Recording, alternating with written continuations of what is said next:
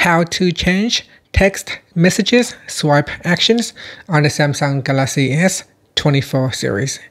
First tap on the home button to go back to the home screen and from the home screen open up the text messages app.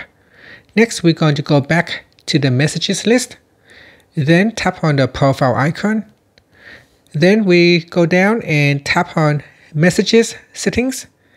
Now in here, scroll down and then tap on swipe actions.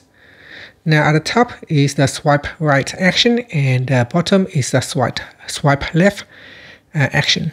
So tap on that. So tap on this uh, arrow down and then from the swipe uh, from the swipe right you can choose uh, archive now tap on the uh, the blue box right here. Now tap on the blue box right here